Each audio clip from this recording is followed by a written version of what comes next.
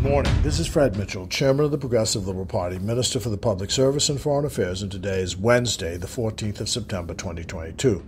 So, in the middle of dinner last night, after a trip through the Fox Hill constituency, the power goes off on the Eastern Road. This is one of the wealthiest neighborhoods in the country with high land taxes and high power bills, but the BPL service is absolute crap.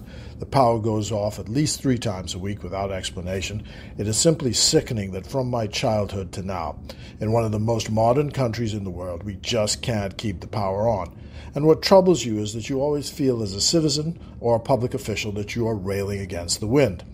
I had the same thought as I walked through the Lynden Pindling International Airport and I saw the signs of wear and tear and lack of maintenance everywhere.